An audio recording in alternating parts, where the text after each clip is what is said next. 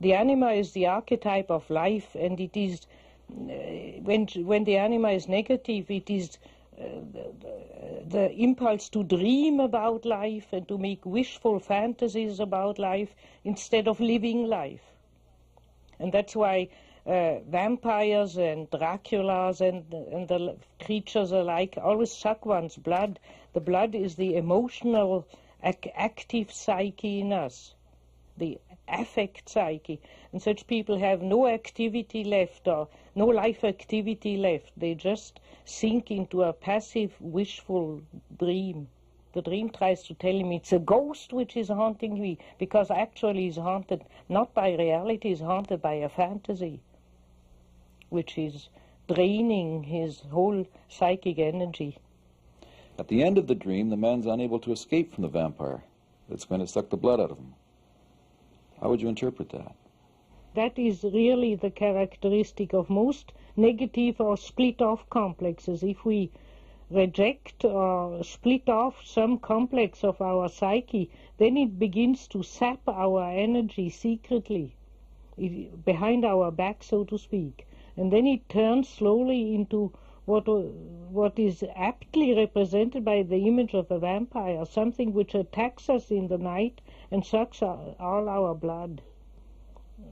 People feel they don't know. They, they, they come into analysis and they say, I feel listless. I just feel tired. I I just don't want to do anything. I wake up already in the morning depressed.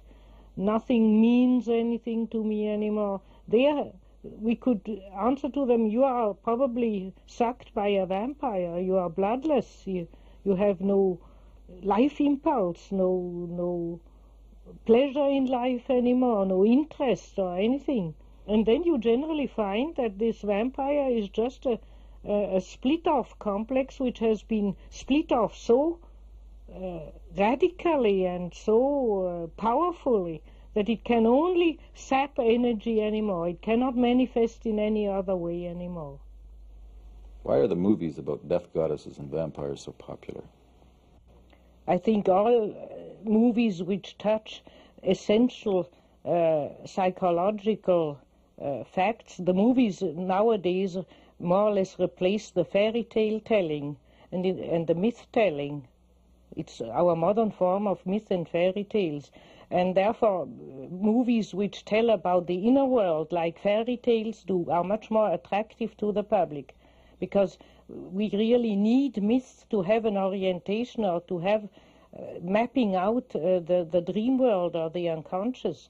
And in past time, there were the innumerable myths of vampires, uh, and uh, which fascinated people. Tales retold all over the world.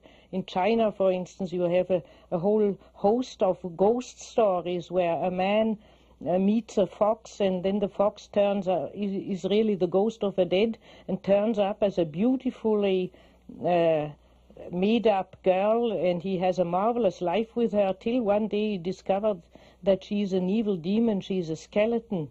And then sometimes it ends bad, she pulls him into death, or he can, with the help of priests and magicians, free himself from the demon.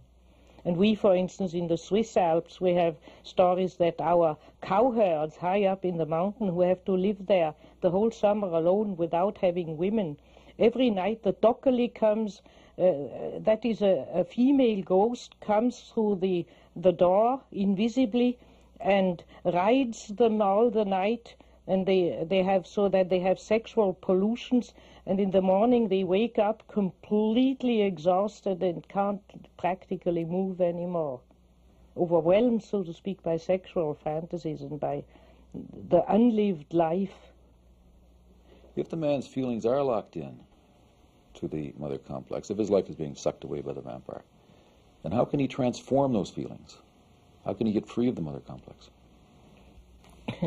I, I once met the dream of a young man who had who was living still with mama. He was 29 and had never had a girl uh, in in his room, and uh, so we seriously discussed the possibility of getting a room outside his mother's home, and he was terrified.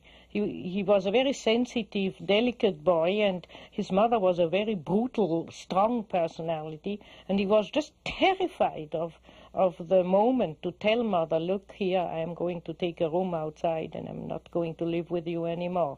And when he was kind of trying to make up his mind, he dreamt that he had to slay the dragon. So that, in that case, it means actually that though it seems such a, to us, little thing to tell mother, I have to room, for him that was slaying the dragon. It was overcoming a monstrous neurotic difficulty within himself. His whole mother complex, not only facing the scene of his actual mother, but uh, overcoming also the inertia and uh, anxiousness of his own mother complex. His mother had sowed in him uh, an anxiousness, a fear of life. He had to overcome a terrific fear of life to make that step. And that is an, uh, an archetypal motive all over the place that the young man has to do the heroic deed of killing his mother or the mother dragon or the mother demon, which is what is anxious or lazy or afraid of living a masculine life.